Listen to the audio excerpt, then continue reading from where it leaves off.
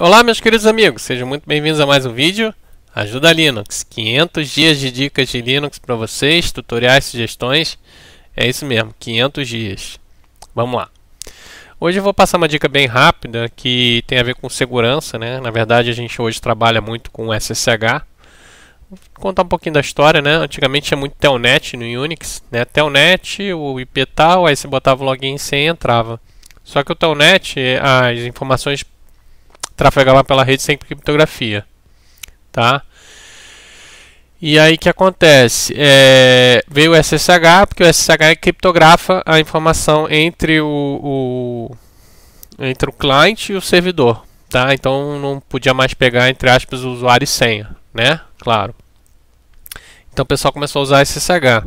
Só que tem um programinha aqui que a gente consegue ver várias informações do SSH. Então é importante você rodar ele nos seus servidores para você ver se estão, se estão, eles estão tudo ok e tal, como é que eles estão, tá? Eu vou passar para vocês. É um programinha feito em Ruby, tá? Na verdade, eu tenho que instalar o Ruby, né? ptget Ruby, o Gen. Gen é um programa do Ruby para compilar pacote do Ruby, tá? E depois eu tenho que rodar o SSH, eu tenho que rodar o o Gen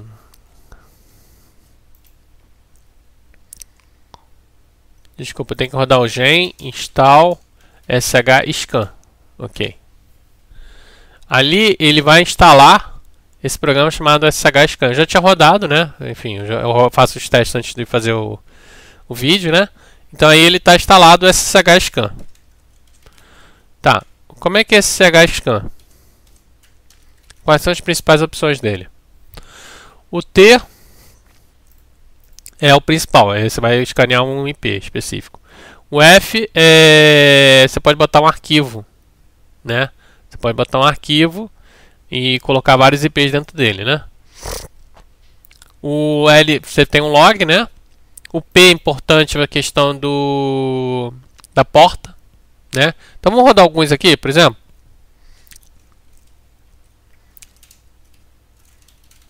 Deixa eu dar uma hora aqui para ele não fugir.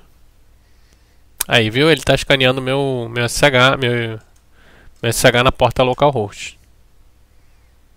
Tá vendo? Então ele consegue me, me, me ó, por exemplo, autenticação, olha que interessante aqui, ó.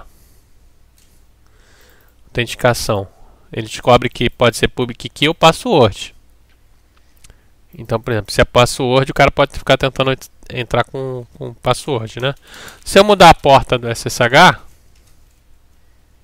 se ela botar a porta 60.022, mandar escanear ele não vai conseguir, né? Normal. Vou startar esse SH, né? Senão não adianta, né, filho? não vai conseguir porque a porta está refuse, mas eu posso botar menos P 60.022 e ele vai escanear.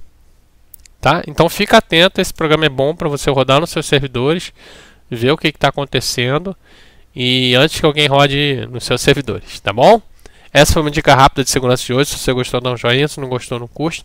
Deixe seu comentário, se inscreve no canal, chama um amigo e a gente se fala amanhã. Tchau, tchau, pessoal. Um abraço.